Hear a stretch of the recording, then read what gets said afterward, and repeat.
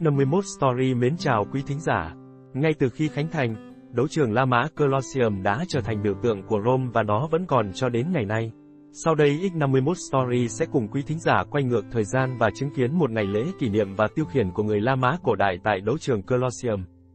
Đấu trường La Mã được biết đến đầu tiên dưới cái tên Amphitheatrum Flavium theo tiếng Latin hoặc Amphithea cho Flavio tiếng Ý, sau này gọi là Colosseum hay Colosseo, là một đấu trường lớn ở thành phố Roma. Công suất chứa lúc mới xây xong là 50.000 khán giả. Đấu trường được xây dựng khoảng năm 70 đến năm 80 sau công nguyên dưới thời hoàng đế Vespasian. Đây là công trình lớn nhất được xây ở đế chế La Mã được hoàn thành năm 80 sau công nguyên dưới thời Titus, với nhiều chỉnh sửa dưới thời hoàng đế Domitian. Đấu trường Colosseum vẫn được sử dụng gần 500 năm với những bằng chứng ghi chép được về trận đấu thế kỷ 6 rất lâu sau khi đế chế La Mã sụp đổ năm 476. Ngoài sử dụng làm nơi đấu của võ sĩ, nơi đây còn được dùng làm biểu diễn công chúng, tập trận giả trên biển, săn thú, kịch cổ điển. Công trình này dần dần không được sử dụng làm nơi giải trí nữa thời Trung Cổ. Sau này, đấu trường được sử dụng làm nhà ở, cửa hàng, nhà thờ, pháp trường. Dù hiện nay bị hoang phế nhiều do động đất và nạn cướp đá, Colosseum vẫn từ lâu được xem là biểu tượng của đế chế La Mã và là một trong những mẫu kiến trúc La Mã đẹp nhất còn sót lại. Đây là điểm tham quan hấp dẫn của Roma và vẫn còn nhiều liên hệ với giáo hội công giáo. Hàng năm vào thứ sáu tuần thánh, giáo hoàng vẫn chủ sự nghi lễ đàng thánh giá tại Colosseum. Một ngày trình diễn tại đấu trường bao gồm một số tục lệ và nghi thức sẽ kéo dài hầu hết thời gian trong ngày. Để hiểu những màn trình diễn này diễn ra như thế nào, chúng ta phải trở thành khán giả và phân tích từng sự kiện một, những gì đã xảy ra trong một ngày giao tranh. Pompa, hay cuộc diễu hành, là đám rước diễn ra trước các trận đấu chính thức của các đấu sĩ tại đấu trường La Mã. Nó được tổ chức trước các sự kiện khác như lễ hội tôn giáo hoặc cuộc đua xe ngựa và do một quan tòa chủ trì. Các quý tộc trẻ tuổi cưỡi ngựa dẫn đầu đoàn diễu hành, theo sau là các cậu bé đi bộ, những người sau này trở thành lính bộ binh. Sau họ là những người tham gia, vận động viên và người đánh xe ngựa. Âm nhạc của những lễ hội này được cung cấp bởi đội vũ công, chơi auloy, một loại nhạc cụ hơi, và đàn lia. Các vũ công được chia theo độ tuổi hoặc tầng lớp, và họ mặc trang phục như Paiais của Hy Lạp, áo chẽn màu tím, mũ bảo hiểm có cánh hoặc màu bằng đồng, giáo và khiên. Nhóm nghệ sĩ giải trí cuối cùng là dàn hợp sướng hóa trang thành Satyr hoặc Sileni và các vũ công có vũ trang. Người sau mặc áo chẽn bằng len, đóng khố bằng da dê và được trang trí bằng hoa. Đám rước kết thúc với những người đàn ông mang bát vàng và nước hoa, theo sau là những bức tượng của các vị thần được khiêng qua đấu trường đấu trường. The Venasini, nghĩa là các trận đấu của thú dữ, là cảnh tượng tiếp theo trong ngày của chúng ta tại đấu trường La Mã. Những cuộc thi này đọ sức giữa thú với thú hoặc người với thú. Những người đàn ông đã bị kết án tội phạm, tù nhân, hoặc thợ săn thú dữ được đào tạo chuyên nghiệp. Venasani lần đầu tiên được tướng La Mã Marcus Fulvius Nobilior trưng bày vào thế kỷ thứ hai trước công nguyên. Người ta nói rằng anh ấy đã được truyền cảm hứng bởi Alexander Đại Đế và trò tiêu khiển của anh ấy là chiến đấu với thú dữ. Sự phổ biến ngày càng gia tăng của các trận đấu với thú dữ đã dẫn đến sự gia tăng về loại và số lượng thú dữ được sử dụng trong các trận đấu này. Gấu, bò tót, sư tử, cá sấu và báo đốm chỉ là một số ví dụ về những loài động vật kỳ lạ được mang đến từ mọi nơi trên thế giới. Một bậc thầy thú dữ đã huấn luyện những con thú này để chiến đấu và mánh khóe. Trong số tất cả những con thú này, người La Mã đặc biệt chăm sóc sói. Họ không làm hại hoặc trưng bày chúng trong Venasani do ý nghĩa tôn giáo của chúng. Còn trong cuộc chiến sinh tử giữa võ sĩ với thú dữ thì một số trường hợp con thú đó sẽ ăn thịt kẻ thua cuộc ngay tại đấu trường. Người ta để chuyện đó xảy ra vì cho rằng, điều đó sẽ giúp chúng quen dần với mùi thịt người. Từ đó, chúng sẽ chiến đấu hăng máu hơn trong những trận đấu kế tiếp. Thậm chí, một số võ sĩ chết trên đấu trường còn bị xẻ thịt và phân phát cho những người đến xem mang về chế biến thành thức ăn hay làm đồ vật mang tính kỷ niệm. Ludi Meridiani, hay các cuộc hành quyết giữa ngày, diễn ra vào buổi trưa, trong khoảng thời gian giữa Venasani và các trận đấu của các võ sĩ giác đấu. Sự kiện này liên quan đến việc hành quyết tội phạm và Kitô hữu bị kết án. Đó là sự thể hiện công khai uy quyền và quyền lực tối cao của La Mã đối với sự sống và cái chết. Nó phục vụ như một hình thức kiểm soát xã hội, để ngăn chặn các tội ác trong tương lai và là một phương pháp thiết thực để giữ cho các nhà tù La Mã không bị quá tải.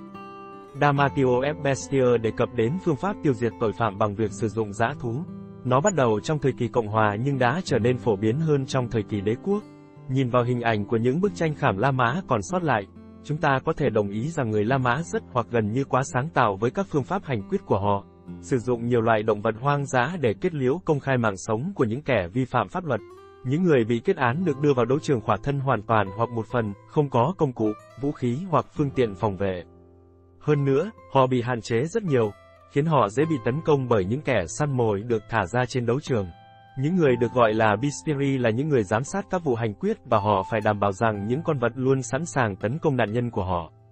Các phương pháp khác bao gồm thực hiện cuộc chiến bị kết án với nhau và tái hiện các tình tiết thần thoại được gọi là trò chơi đố chữ chết người. Cuộc hành quyết giữa chưa kết thúc với việc di chuyển xác của những người bị kết án. Điểm cuối cùng và đỉnh cao của tất cả các sự kiện là Milner hay trò chơi đấu sĩ. Các đấu sĩ thường chiến đấu theo cặp, được xác định bởi trang bị và cấp độ kỹ năng của họ. Mục tiêu chính của họ không chỉ đơn giản là giao đấu mà mang đến một cuộc đọ sức kịch tính và hồi hộp. Họ đã làm điều này bằng cách có một trận đấu kéo dài với một kết quả không chắc chắn. Tổ chức đấu sĩ đã phát triển theo thời gian, bắt đầu với những tù nhân chiến tranh sử dụng vũ khí và kỹ thuật chiến đấu của họ. Sau đó, vũ khí và kỹ thuật được tiêu chuẩn hóa thành các loại hoặc phần ứng khác nhau. Tên của họ phụ thuộc vào quốc tịch hoặc vũ khí được sử dụng. Có bốn loại chính, Samnai, Terex, Mermillo và Retiarius. Người Samnai được đặt theo tên của các chiến binh Samnai mà La Mã đã đánh bại trong những ngày đầu của nền Cộng Hòa, và họ được trang bị vũ khí mạnh nhất trong bốn loại chính. Người Thracer được đặt tên theo một kẻ thù khác của La Mã, và họ thường chiến đấu theo cặp để chống lại người Mermillon. Mermillon, hay người cá, đội mũ bảo hiểm bằng kim loại có hình con cá trên đỉnh, áo giáp bằng da hoặc vảy kim loại và kiếm kiểu Hy Lạp. Cuối cùng, Retiari, hay người đánh lưới, chiến đấu bằng vũ khí mô phỏng theo công cụ của ngư dân. Trang bị rất sơ sài, họ mặc áo giáp ở cánh tay và vai, để lộ đầu và chân. Một màn trình diễn Müller tại đấu trường La Mã bao gồm 3 phần. Phần đầu tiên là khúc dạo đầu bao gồm một trận chiến bằng vũ khí cùn, tương tự như vũ khí huấn luyện. Phần thứ hai, áo giáp thử việc, liên quan đến việc các đấu sĩ kiểm tra độ sắc bén của vũ khí của họ. Phần cuối cùng là thực chiến. Các trận đấu hòa rất hiếm vì các đấu sĩ phải chiến đấu để đi đến phán quyết. Kết quả tốt nhất là khi một người đàn ông buộc phải phục tùng người kia bằng cách tước vũ khí hoặc bất động. Thành phố Rome có nhiều trường đào tạo đấu sĩ, trong đó lớn nhất và nổi tiếng nhất là Ludus Magnus.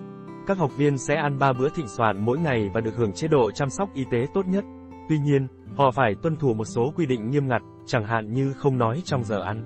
Chế độ ăn của họ bao gồm cháo lúa mạch ngũ cốc, hoặc những thức ăn giàu protein và carbohydrate khác. Họ không uống rượu vang mà chỉ uống nước. Họ được phép giữ tiền và các phần thưởng mà họ giành được sau khi đánh thắng mỗi trận chiến. Các đấu sĩ là một khoản đầu tư đắt đỏ đối với những người điều hành các trường đào tạo, vì vậy họ luôn muốn các đấu sĩ đủ dũng mãnh và khỏe mạnh để tham gia nhiều hơn một trận đấu. Trái ngược với suy nghĩ của nhiều người, không có nhiều đấu sĩ chiến đấu đến chết. Nhiều nhà sử học nói rằng có khoảng 1 phần 5 số lượng các đấu sĩ chết trong trận chiến. Một số khác cho rằng tỷ lệ này là 1 phần 10. Tuy nhiên, hầu hết các đấu sĩ chỉ sống đến khoảng 25 tuổi. Đây thực sự là một con số gây sốc. Khi đề cập đến các đô sĩ La Mã cổ đại, chúng ta có xu hướng nghĩ rằng họ đều là nam giới. Nhưng điều thú vị là các nữ nô lệ cũng bị ép buộc vào đấu trường. Hoàng đế La Mã Domitian thậm chí còn cho các nữ đô sĩ chiến đấu với những người lùn để làm trò tiêu khiển. Phụ nữ đã có mặt trong các trận chiến trong khoảng 200 năm, cho đến khi Hoàng đế Septimius Severus cấm họ tham gia vào trò chơi khát máu này. Khi một đấu sĩ thua cuộc, anh ta sẽ thừa nhận thất bại của mình bằng cách hạ vũ khí xuống và giơ một ngón tay đầu hàng. Sau đó là quyết định của người chủ tọa, thường là quan nhấp chính hoặc hoàng đế La Mã. Trong khi đó, khán giả sẽ hét lên mi sầm, bỏ anh ta đi, hoặc Yugula, giết đi. Cuối cùng, sau khi được khán giả khuyên, chủ tọa sẽ yêu cầu cái chết của đấu sĩ hoặc anh ta sẽ cho phép cả hai võ sĩ rời khỏi vị trí đứng. Nếu võ sĩ thất bại và có nhiều vết thương nặng thì sẽ bị người khác dùng một chiếc búa to đánh một cú chí mạng vào đầu dẫn đến tử vong. Thi thể của võ sĩ bại trận sẽ được xử lý tùy theo xuất thân của mỗi người. Đối với tầng lớp tử tù, họ sẽ được đem chôn hoặc ném xuống sông. Những võ sĩ giác đấu khác xuất thân từ tầng lớp thường dân hay quý tộc sẽ được chôn cất tử tế với lòng thành kính của mọi người. Một số võ sĩ giác đấu giành chiến thắng sẽ trở thành người nổi tiếng và được mọi người tung hô như những ngôi sao. Họ cũng trở thành đối tượng mà nhiều phụ nữ khao khát được ở bên. Thêm vào đó, họ sẽ bị xăm hình lên mặt, cẳng chân và bàn tay để mọi người dễ dàng phân biệt các võ sĩ với nhau. Các trận huyết chiến trên đấu trường La Mã cổ đại đã kết thúc vào năm 404 sau công nguyên, sau khi hoàng đế Honorius đóng cửa các trường đào tạo đấu sĩ. Đấu trường La Mã đã có những sự thay đổi lớn trong thời kỳ Trung Cổ. Một nhà thờ nhỏ được xây dựng ở bên trong của đấu trường vào cuối thế kỷ 6, và sân đấu thì trở thành một nghĩa trang. Nhiều khoảng không bên dưới những bậc thang được sử dụng làm chỗ ở hoặc xưởng thủ công, và người ta tiếp tục thuê nhà ở đó cho tới tận thế kỷ 12. Năm 1349, một trận động đất lớn đã làm sụp đổ toàn bộ phần tường bên ngoài của mặt phía nam. Một phần lớn lượng đá được sử dụng để xây dựng các cung điện, nhà thờ, trạm xá và các công trình khác, lớp đá hoa, đá cẩm thạch bọc bên ngoài được sử dụng cho các lò vôi, còn lõi sắt và đồng thì bị ăn cắp. Chúng tôi xin kết thúc bài chia sẻ của mình tại đây. Xin chân thành cảm ơn các bạn đã dành ra thời gian quý giá để lắng nghe bài chia sẻ này. Xin kính chúc quý thính giả cùng gia đình luôn luôn hạnh phúc, thành công và bình an trong cuộc sống.